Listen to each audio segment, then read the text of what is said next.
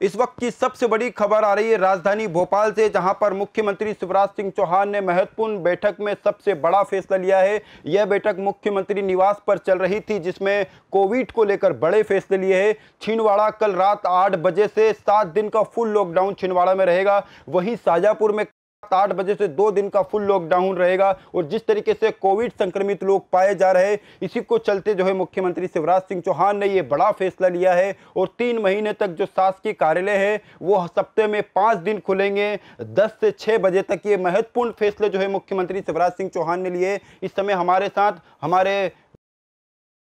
चुके हैं भारत पाटिल, उनसे जानने की कोशिश करेंगे आखिर में क्या कुछ बड़े फैसले मुख्यमंत्री शिवराज सिंह चौहान ने लिए हैं। भारत देखिए, बता दें कि मुख्यमंत्री निवास पर एक हाई लेवल कमेटी की बैठक की गई थी और इसके, इसी के दौरान कई महत्वपूर्ण निर्णय लिए गए हैं। बढ़ते प्रदेश में कोरोना संक्रमण, कहीं ना कहीं अब जहाँ प्रशासन के लिए अब चिंताओं का विषय है, उसको लेकर के ये महत्वपूर्ण फैसले थे। हालाँकि लगातार क्राइसिस मैनेजमेंट की बैठक में मुख्यमंत्री शिवराज सिंह चौहान प्रदेश के सभी आला अधिकारियों से मुखातिब होते रहे थे, साथ ही साथ चर्चाएँ कर रहे थे। खासकर अगर हम बात करें इंदौर, भोपाल, शाजापुर, छिंदवाड़ा, ये ऐसे ज़िले हैं जहाँ पर संक्रमित मरीजों का जो आंकड़ा है वो लगातार बढ़ता जा रहा है। इसी महत्वपूर्ण फैसले को लेकर के अगर हम बात की जाए तो शासकीय जो कार्यालय हैं, वो अब सप्ताह में पाँच दिन खुलेंगे। जैसा कि बताया कि सुबह छः दस बजे के करीब जो नियमित रूप से जो कार्यालय खुलते हैं, वो छः बजे बंद कर दिए जाएँगे। मतलब शनिवार और रविवार के दिन ये कार्यालय बंद रहेंगे अब पाँच दिनों तक जो आम लोगों के जो निजी कार्य है, जो शासकीय कार्यालय से जुड़े हुए हैं, वो अब अधिकारी सिर्फ़ पाँच दिनों तक ही आम लोगों से मिल पाएँगे। हालाँकि सोशल डिस्टेंसिंग का पालन ज़रूर करना है शासकीय कार्यालय में बिना मास्क के नहीं आना दिया जाएगा। और साथ ही अगर हम बात करें शासकीय कार्यालयों की तो शासकीय कार्यालय में साथ ही साथ सैनिटाइज़र और ये सारे तमाम जो कोरोना की गाइडलाइन के तहत नियम बनाए गए हैं, उसका विशेष ध्यान दिया जाएगा। साथ ही महत्वपूर्ण फैसला लेते हुए मुख्यमंत्री शिवराज सिंह चौहान ने प्रदेश ज़िले में नगरीय क्षेत्र जितने भी हैं, वहाँ पर प्रत्येक जो रविवार का लॉकडाउन है, वो पूरी तरह से कर दिया गया है कि प्रत्येक नगरीय जो क्षेत्र है, उनमें प्रत्येक रविवार को संपूर्ण लॉकडाउन किया जाएगा और वो इसका पालन जो है, वो सख्ती से भी कराया जाएगा। साथ ही क्योंकि कोविड गाइडलाइन का पालन नहीं करने वालों पर जिस तरह की सख्ती प्रशासन बरत रहा है, वहीं एक महत्वपूर्ण फैसला लिया है, जहाँ पर अगर हम बात करें तो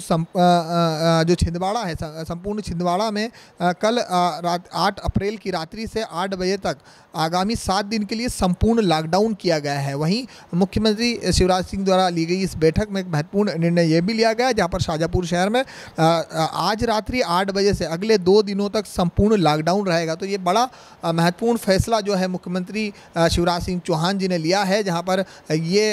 हाई कमेटी की जो बैठक की गई है जो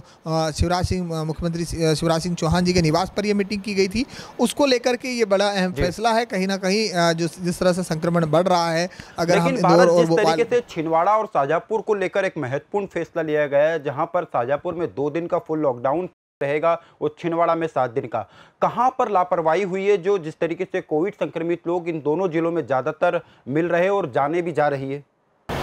देखिए हम अगर बात करें, छिंदवाड़ा की बात कर लें या फिर शाजापुर की बात कर रहे हैं, कहीं ना कहीं आम लोगों में जो अवेयरनेस मास्क ना लगाना सोशल डिस्टेंसिंग की हम अगर बात कर रहे हैं, साथ ही कोविड की जिन गाइडलाइनों की बात कर रहे हैं क्योंकि एक साल पहले ये वही मार्च के बाद, अप्रैल का महीना था हम जहाँ पर लॉकडाउन में थे और तकरीबन तीन महीने का ये लॉकडाउन था जहाँ पर घरों में हम इस कोरोना की जो चेन है उसको तोड़ने में सफल भी हुए थे। कहीं ना कहीं हम सामान्य रूप से वापस लौट आए थे, लेकिन जिस तरह से कोरोना वायरस का ये दूसरा जब वापस से एक बार दोबारा हमें 2021 में देखने को मिल रहा है तो कहीं ना कहीं ये अंदाज़ा लगाया जा सकता है कि किस तरह की लापरवाही यहाँ पर बरती गई है। हालाँकि प्रशासन तमाम वो कड़े रुख अपना रहा है हम देख सकते हैं कि इंदौर में जिस तरह से अस्थायी जेल बनाई गई, जो कोविड नाइन्टीन का पालन नहीं कर रहे थे, उनके, उन्हें अस्थायी जेल में पनिशमेंट के रूप में रख रखा जा रहा है। भोपाल में हम देख रहे थे मुख्यमंत्री शिवराज सिंह चौहान खुद सड़कों पर उतरे थे, मास्क के लिए लोगों से विनती करते हैं, मास्क लगाने के लिए जागरूकता के लिए करते हैं वैक्सीनेशन जिस प्रकार से चल रहा है, वो तो तमाम प्रयास तो जो है प्रशासन शासन द्वारा किया जा रहा है। लेकिन आम लोग जिस तरह से पार्टी आयोजन कर लेना, भव्य शादियाँ, समारोह छोटे छोटे आयोजनों में भीड़ लगा लेना कहीं ना कहीं मार्केट में अनावश्यक घूमना मार्केट में जिस तरह का क्राउड दिख रहा है वो तमाम जो इलाके हैं वो ये, जो लोग हैं वो आखिर मान नहीं रहे लोगों कोरोना को अभी भी समझ नहीं पाए हैं कि किस तरह से हम कोरोना के साथ जी सकते हैं। ये पहले ही कह दिया गया था कि अब हमें इस कोरोना संक्रमण के साथ जीना है लेकिन जितनी हम सेफ्टी रखेंगे जितनी हम सुरक्षा रखेंगे उस तरीके से दूसरे राज्यों से जो लोग यहाँ मध्य प्रदेश में आ रहे हैं उनकी किस तरीके से मॉनिटरिंग की जा रही है उनके कोविड का टेस्ट हो रहा है या नहीं, इसको लेकर क्या फैसले लिए गए? साथ ही जिस तरीके से लगातार कोविड संक्रमित लोग पाए जा रहे हैं, कहीं मध्य प्रदेश में ऐसे इलाके हैं और कहीं ऐसे ज़िले हैं जहाँ पर आज भी वहाँ पर सुविधाएँ नहीं है, ऐसे इलाके भी है तो वहाँ पर कैसे प्रशासन ध्यान दे रहा है? देखिए, बता दें क्योंकि जैसा कि आपने कहा कि बाहर से आने वाले लोग तो हमारे मध्य प्रदेश की सीमा की अगर हम बात करते हैं तो सबसे नज़दीकी हमारा जो दूसरा राज्य है हम बात करें छत्तीसगढ़ की या फिर महाराष्ट्र की बात करें तो ये दोनों बॉर्डर हमारे से जुड़ी हुई है और यहाँ पर सबसे ज़्यादा केसेस देखने को मिल रहा है। हालाँकि जैसा कि छत्तीसगढ़ में लॉकडाउन की जैसी स्थितियाँ बन चुकी है महाराष्ट्र की हम बात करें तो महाराष्ट्र में भी सख्ती बढ़ रही है, लगातार कोरोना संक्रमण के मरीज़ बड़ी संख्या में, हज़ारों की संख्या में देखने को मिल रहे हैं। तो यहाँ से आने वाले क्योंकि जितने लोग कई लोग जो व्यापार क्षेत्र में हैं वो महाराष्ट्र जाते हैं इंदौर आते हैं या भोपाल आते हैं तो कई ऐसे लोग हैं जिनकी मॉनिटरिंग की जा रही है। वहाँ से आने वाली बसों पर विशेष ध्यान रखना जा रहा है लोगों का रिकॉर्ड जो है वो मेंटेन किया जा रहा है। साथ ही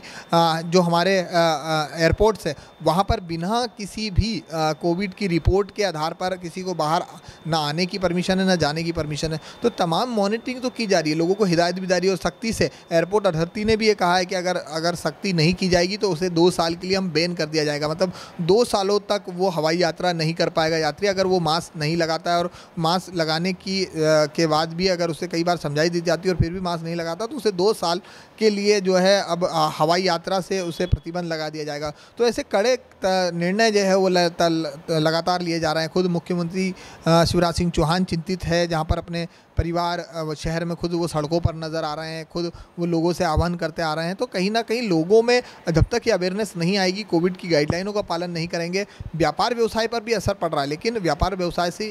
ज़रूरी है बड़ा ये महामारी क्योंकि इस महामारी से निपटने के लिए जिस तरह के प्रयास लगातार किए जा रहे हैं हॉस्पिटल्स में पैरामेडिकल स्टाफ है डॉक्टर्स है पुलिस है ये तमाम लोग जो है मैदान में डटे लेकिन भारत जिस तरीके से मुख्यमंत्री शिवराज सिंह चौहान भी सड़कों पर आके लोगों को समझाइश भी दे रहे मास्क भी पहना रहे अनाउंसमेंट भी कर रहे उसके बावजूद भी लोग समझ नहीं रहे। अब जो शहर से ज़्यादा अब लोग जो है संक्रमित जो है गाँव में पाए जा रहे हैं। तो कहीं ना कहीं ये एक घातक हो चुका है मध्य प्रदेश के लिए। और एक और बड़ी बात तो ये भी है कि जिस तरीके से कोविड फैल रहा है तो अस्पतालों में भी जगह नहीं है। ऐसे में क्या लगता है आपको कि आने वाले दिनों में कौन से ऐसे एरिया है जिन्हें लॉकडाउन किया जाएगा? और अगर लोग लापरवाही करेंगे तो मध्य प्रदेश के ऐसे कहीं ज़िले जहाँ पर लॉकडाउन लगाना पड़ेगा। देखिए मुख्यमंत्री शिवराज सिंह चौहान जी का ये साफ़ आ, कहना था कि आ, किसी भी लॉकडाउन जैसी परिस्थितियों का वो मन नहीं है सरकार का कि लॉकडाउन लगाने से ही संक्रमण पर जीत की जा सकती है। लेकिन जब तक लॉकडाउन में भी अगर लोग संक्रमण से बचने के लिए अगर तमाम आ, तरीके अगर अपनाएँ जो गाइडलाइन है उसका पालन करें क्योंकि देखा गया है कि कितने समय तक जब लोग घरों में रहे थे काफ़ी आर्थिक तंगी से गुजरना पड़ा था। लोग क्योंकि प्रदेश की चाहे वो देहात हो चाहे वो शहर हो प्रदेश के मुखिया के लिए ज़िम्मेदारी बनती है। प्रदेश के मुखिया के लिए प्रदेश सबसे पहले है और वहाँ पर रहने वाली वो जनता है, चाहे वो देहात की हो, चाहे वो गाँव की। उनकी सुरक्षा के लिए तमाम वो जो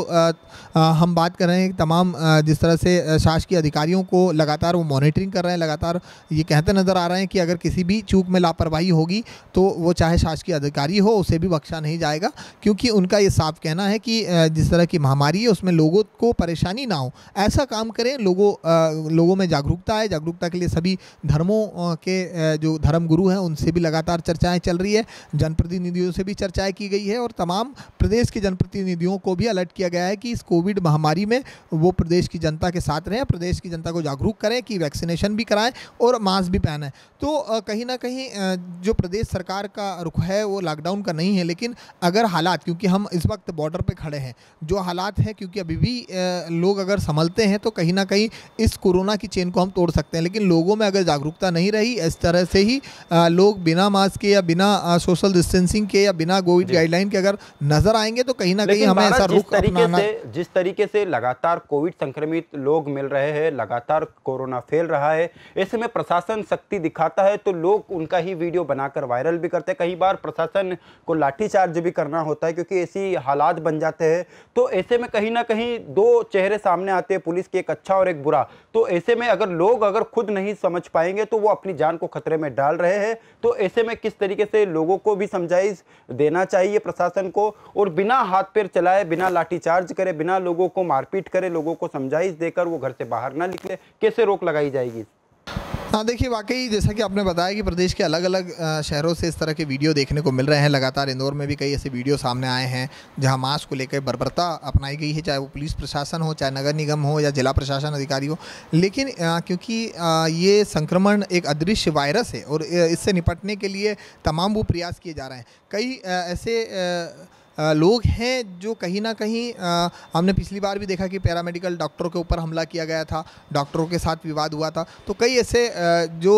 इलाके हैं, कई ऐसे दस परसेंट लोग होते हैं जिनकी मानसिकता कहीं ना कहीं वो पूरे प्रदेश या पूरे शहर को शर्मसार करती है। लेकिन अगर हम बात करें प्रशासन की भी तो प्रशासन भी, क्योंकि ज़मीनी स्तर पर आम लोगों से जुड़ा हुआ है, पुलिस विभाग की बात करें तो लगातार उनका हर व्यक्ति से मुलाकात होती है। लेकिन हमने इनका एक अलग ही परिदृश्य भी देखा, चाहे वो नगर निगम हो, चाहे पुलिस विभाग विभाग हो चाहे प्रशासन हो इस लॉकडाउन की घड़ी के दौरान जो मानवीय चेहरा पुलिस का निकल के आया था जो मानवीय चेहरा प्रशासन का निकल के आया था जो मानवीय चेहरा नगर निगम कर्मचारियों का निकल के आया था वो भी देखने लायक था। जहाँ पर लोग भूखे मर रहे थे लोग प्रवास के लिए भटक रहे थे जो लोग हज़ारों किलोमीटर पैदल चल रहे थे उनकी व्यवस्था यही नगर निगम कर्मचारी थे यही पुलिस प्रशासन के लोग थे और यही जिला प्रशासन के लोग थे जिन्होंने कराई थी। तमाम उसमें सबसे बड़ा हाथ हमारी शहर की जनता का भी रहा शहर की जनताओं ने भी आगे बढ़ चढ़कर इस कोरोना महामारी में हिस्सा लिया था और दिल खोल कर दा लोगों की मदद की थी। तो कहीं ना कहीं जहाँ पर क्योंकि माना जाता है कि जब बैकफुट पे लोग रहते हैं जब अधिकारी ज़मीनी स्तर पर मेहनत करते हैं तो कहीं ना कहीं थोड़ा बहुत इस तरह के आक्रोश में आने वाले जनता के बीच में कुछ ऐसे लोग ऐसे तत्व रहते हैं सामाजिक ऐसे तत्व हैं जो कहीं ना कहीं प्रशासन का विरोध करते हैं। लेकिन इसके बावजूद भी प्रशासन नम्रता से भी लगातार जागरूक कर रहा है। हम देखते आ रहे हैं कि अभी सभी धर्मों की जिस तरह की बैठक ली गई थी बढ़ चढ़कर सभी धर्म के लोगों ने इसका जागरूकता अभियान के तहत जो है वैक्सीनेशन को लेकर के एक बढ़ावा दिया और तीन दिन चले महोत्सव में भी हमने देखा कि किस तरह से लोग बड़ी संख्या में जो पैंतालीस साल से बड़ी ज़्यादा उम्र के थे उन्होंने वैक्सीनेशन कराया। कई कॉलोनी संपूर्ण रूप से वैक्सीनेशन करा चुकी है। तो जैसे जैसे वैक्सीनेशन का कार्य बढ़ता जाएगा वैसे वैसे हम कोरोना पर भी जीत बिल्कुल बहुत बहुत शुक्रिया बहुत बहुत धन्यवाद बात करने के लिए। तो जिस तरीके से मुख्यमंत्री शिवराज सिंह चौहान ने एक महत्वपूर्ण फैसला लिया है लेकिन अब सबसे बड़ी बात तो यह है कि आप जो जनता है, जनता को अगर समझ नहीं आएगा, अगर वो बिना मास्क लगाए घर से निकलते हैं या कोविड के नियमों का पालन नहीं करते तो अपने आप को खतरे में वो डाल रहे जैसा कि आपने देखा छिंदवाड़ा में सात दिन के लॉकडाउन का फैसला मुख्यमंत्री शिवराज सिंह चौहान ने लिया। देवास देवास, इंदौर, भोपाल, आसपास के जितने भी इलाके हैं जहाँ पर कोविड संक्रमित लोग पाए जा रहे आपको सबसे पहले आपके परिवार का ध्यान रखना है, आपके बुज़ुर्गों का ध्यान रखना है और इस कोविड के समय में इस लगातार जो हमारे व्यापारी है, उनका भी नुकसान हो रहा है और कहीं हमारे मजदूर भाई है, उनका भी नुकसान हो रहा है। लेकिन सबसे महत्वपूर्ण बात कि आज की तारीख में सबकी जान बचाना बहुत ज़रूरी है और प्रशासन आपके लिए पुलिस आपके लिए। अगर आप पुलिस प्रशासन का सहयोग नहीं करेंगे तो कोविड इसी तरीके से फैलेगा। अगर वो आपको रोक रहे तो वो आपकी भलाई के लिए रोक रहे। तो इस तरीके से आप सभी को ध्यान देना चाहिए, लेकिन जिस तरीके से मध्य प्रदेश में लगातार कोविड संक्रमित लोग पाए जा रहे, ये कहीं ना कहीं चिंता का विषय है। अब, लगातार जो है प्रशासन अब सख्ती से और भी कार्रवाई करेगा, क्योंकि कहीं ज़िले जो है लॉकडाउन की तरफ़ रुख कर रहे हैं, ऐसे में कहीं ना कहीं प्रशासन को अब सख्ती दिखाना भी लाजमी है। फ़िलहाल इतना ही आप देखते रहिए एशियन भारत नमस्कार।